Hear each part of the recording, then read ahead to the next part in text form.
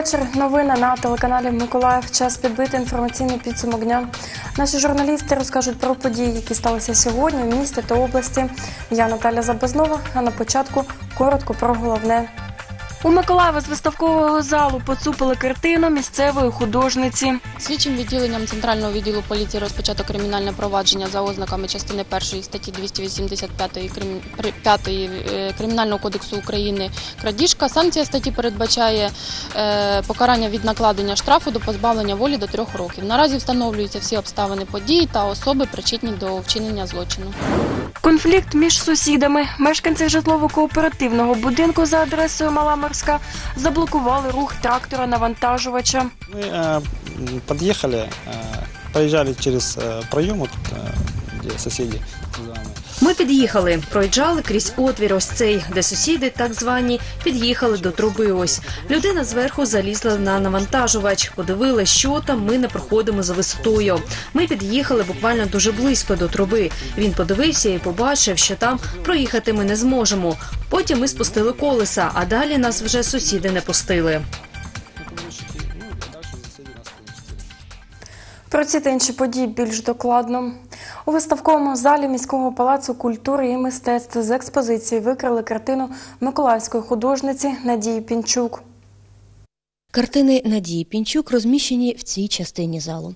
Викрадена картина Човники на Інгулі висіла на цьому місці. Тепер тут залишився лише пустий гачок.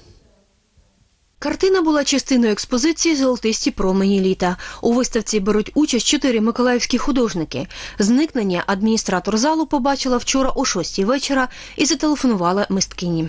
Вчора я тут працювала в майстерні, е, подзвонила адміністратор виставкової зали Вікторія Павлінська і сказала, що ось е, закінчився робочий день. Вона оглянула зал і експозицію, побачила, що немає картини. А з утра вона її зранку бачила, в 11 зранку бачила. Прийшла Вікторія розгублена, майже зі сльозами на очах, бо такого ще не було на її пам'яті, скільки вона працює. Чотири роки вона працює. Ем, Прийшлося да, визвати поліцію. Що робити? Треба зафіксувати. Це ж факт.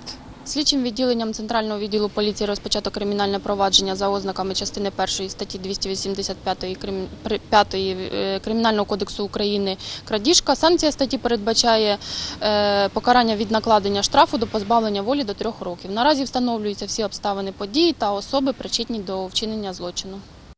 Так виглядає етюд човники на Інгулі. Розміри 33 на 37 сантиметрів.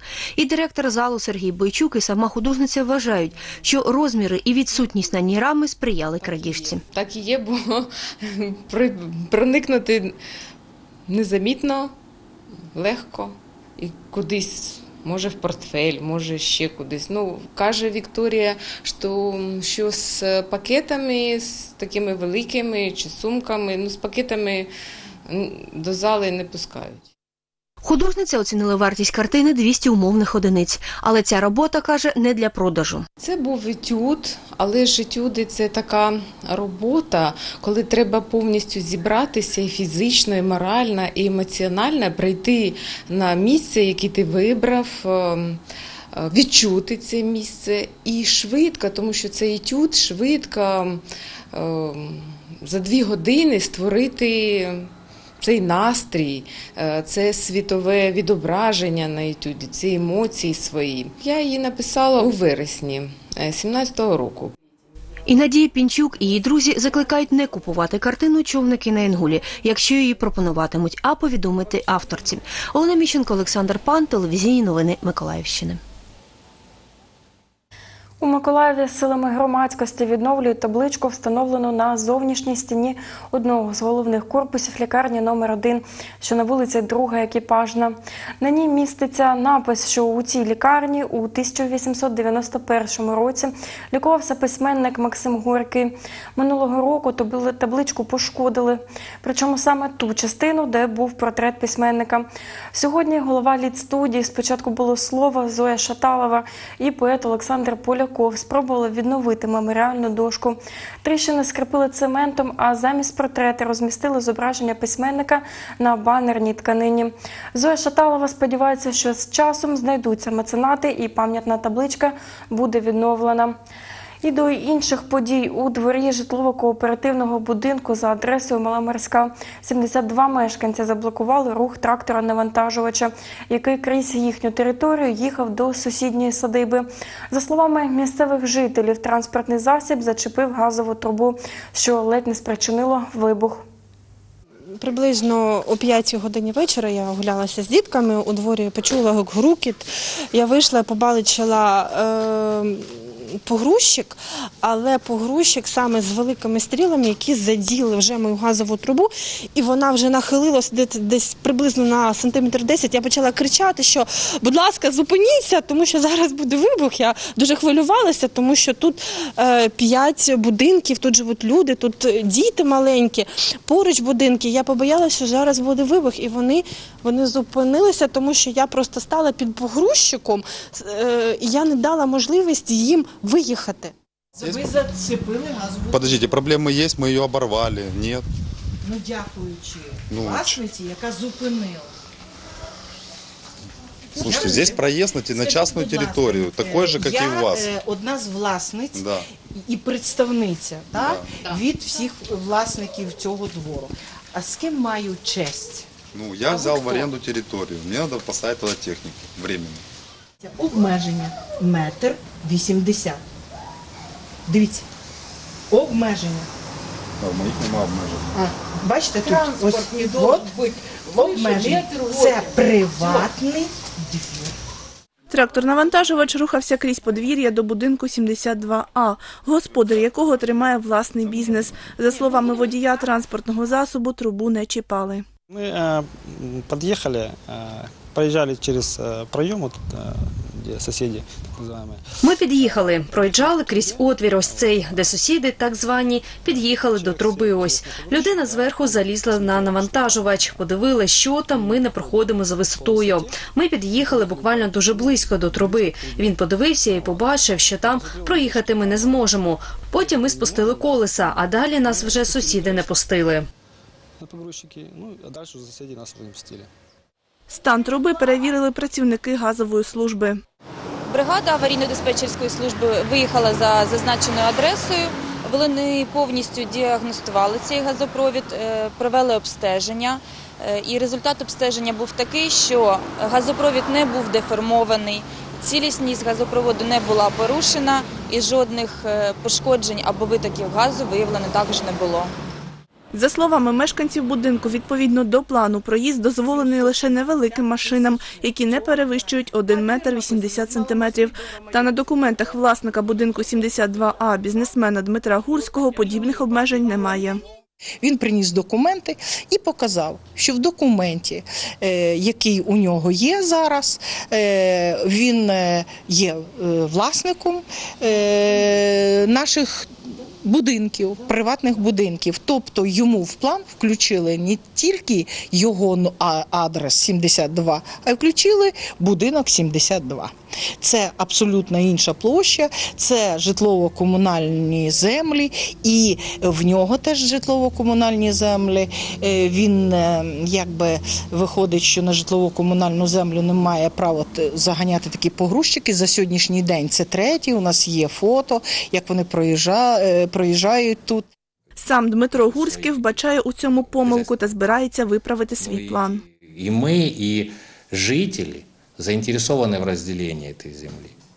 И само по себе разделение это- этих двух кадастровых номеров, ну, как бы, э, не дадут соврать, как бы, обязует нас. І ми, і мешканці зацікавлені у розділі цієї землі. І сам розділ цих двох кадастрових номерів зобов'язує нас оформити договір сервітута, в якому будуть вказані габарити, вага та технічні параметри транспортних засобів, що за сервітутом будуть проїжджати крізь ділянку, якому присвоїть кадастровий номер. На період вирішення цього питання ми спробуємо мінімалізувати зі свого боку і тих, хто працює на нашій території, рух транспорту, і будемо намагатися узгоджувати це із сусідами. Транспорта. і будемо старатися согласовувати це з сусідами. Домовившись із сусідом, мешканці будинку 72 випустили навантажувач. Він спустив колеса та проїхав без перешкод.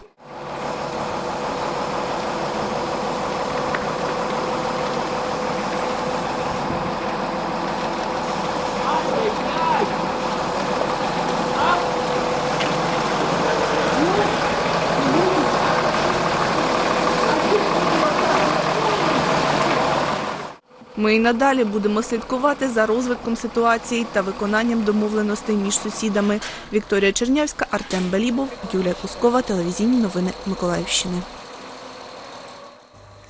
Комунальне підприємство Миколаївський міжнародний аеропорт оголосив торги на суму у 10 мільйонів гривень на закупівлю аеродромного пожежного автомобіля. Про це свідчить інформація у системі закупівель Прозоро. Пожежний автомобіль обов'язково повинен бути новим і переможець торгів повинен поставити його в аеропорт до 6 червня 2019 року. Кінцевий термін подання тендерних пропозицій 21 серпня. Наступного дня стартує початок аукціону. У торгах можуть брати участь як українські компанії, так і зарубіжні фірми, нерезиденти. І до інших новин сьогодні у рамках проєкту Живий працює в Україні. Співробітники Миколаївської обласної служби зайнятості розпочали серію зустрічей на виробництві із працівниками та керівниками суднобудівних підприємств області.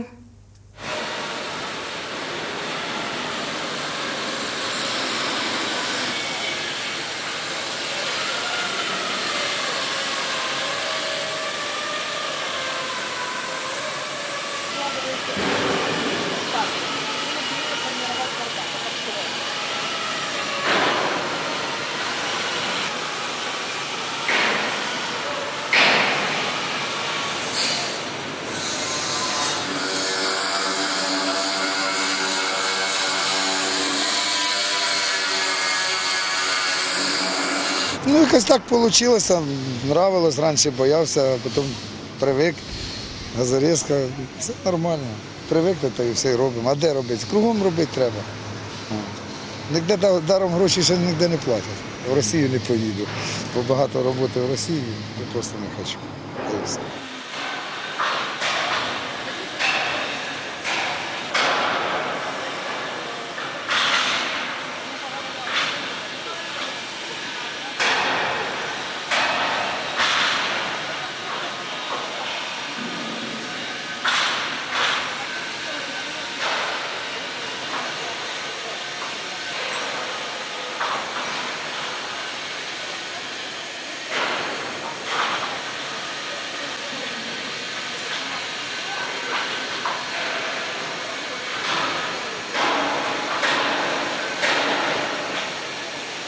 Сьогодні ми відслідковуємо тенденцію до відродження підприємств саме суднобудівної, судоремонтної галузі. Тому ми зацікавлені в тому, щоб такі потужні підприємства працювали на теренах Миколаївської області і були укомплектованими на 100% саме професійними кадрами, робітничими кадрами. На жаль, сьогодні ми відслідковуємо е, деякий дисбаланс на ринку праці.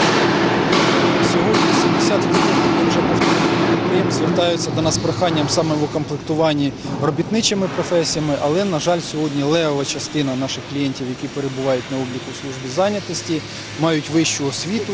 Але ми працюємо. Ми працюємо в інформаційному плані, ми доносимо людей. І саме сьогодні наше гасло живий і працюй в Україні.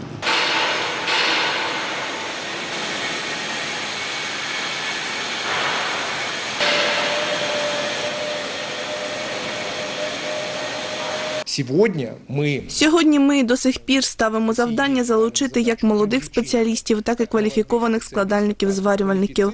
Але якщо спочатку завдання було 300 осіб, то зараз залучити б хоча б близько 30-40 складальників-зварювальників. 40 сборщиков и сварщиков. У Миколаєві відбулось закриття змагань та нагородження переможців вітрильної регати на Кубок Шмітта. Сурко Елизавета, все николаевские спортсменки. Елизавета, Учасники віком від 7 до 25 років приїхали з п'яти областей України – з Харкова, Одеси, Херсона, Києва та Миколаєва. Змагання тривали чотири дні. Всього прийняло участь 176 яхт. Загалом взяло участь 172 яхти. Звісно, була більша кількість це дитячих яхт класу Оптиміст, Гейзер Ідеал, Промінь Міні, Ультра. Ці ті яхти, котрі не є олімпійськими класами. Адже боротьба, особливо, якщо повернутись назад і поглянути на погодні умови, котрі нам природа подарувала, це і слабкий вітер. Перший день ми взагалі не провели змагання, тому що не було вітру. А в останній день чудова погода, і кожен учасник міг показати свої спортивні результати і свою спортивну готовність к змаганням. Звісно, перемогли найсильніші. В чемпіонаті всеукраїнських змагань Кубка лейтенанта Шмідта. 16-річний миколаївець Даніїл Рябов посів перше місце. Займається цим видом спортом 4 роки. Ділиться своїми враженнями. Перше місце у класі ультра. Почуття чудове, адже виграв у суперників, і дуже було складно виграти. Вітер був сильний, було складно виграти. Були різні пориви вітру: сильні, слабкі, відхід вітру і вхід вітру. Тож було складно змагатись. Я розраховував, що займу перше місце, адже я найкращий. Третє місце посіла 17-річна киянка Вероніка Дейнега. Ми кожен рік приїжджаємо в е, Миколаїв е, змагатися, і тому цього року також приїхали. Я зайняла третє місце в, е, в общем зачоті, в загальному общем зачоті в класі Ультра М. Були цікаві вітрильні умови, тому е, моментами було важко. Організатори обіцяють на наступні змагання залучити більше учасників з різних областей України. Євгенія Голубова, Олександр Попов, телевізійні новини Миколаївщини. І на сьогодні це всі новини, про які ми хотіли вам розповісти. Я прощаюся з вами до наступної зустрічі та бажаю гарного завершення дня.